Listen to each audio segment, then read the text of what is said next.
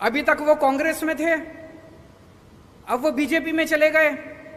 अपनी पार्टी पहली एमएलए थे अब भी एमएलए का चुनाव लड़ेंगे तो क्यों गए हैं? उनके ऊपर इतने सारे केस थे इतने सारे केस थे तो वो अपने केस रफा दफ़ा कराने के लिए गए हैं।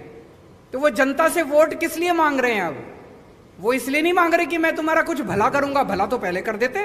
अभी भी कांग्रेस में ही थे एमएलए ही थे वो जनता से कह रहे हैं, मेरे को वोट दो ताकि मैं अपने सारे केस रफा दफ़ा करा लूँ।